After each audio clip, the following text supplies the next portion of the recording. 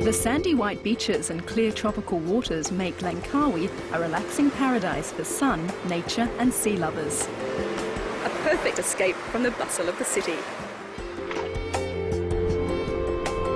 There are three geoparks on the island. It's a mystical place, rich in history, myths and culture. I'd go by boat to explore the dense mangrove forests with a magnificent backdrop of limestone cliffs. This protected UNESCO conservation area has unique geological formations and dazzling wildlife. If I'm lucky, I might spot a dusky leaf monkey or a bird of prey.